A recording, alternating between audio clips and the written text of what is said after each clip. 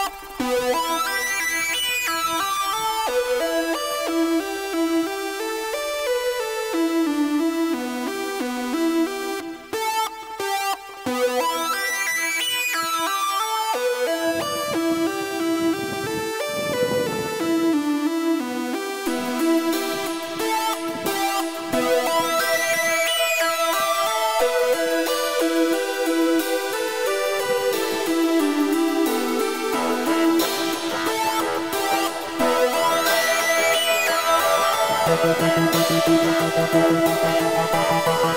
you.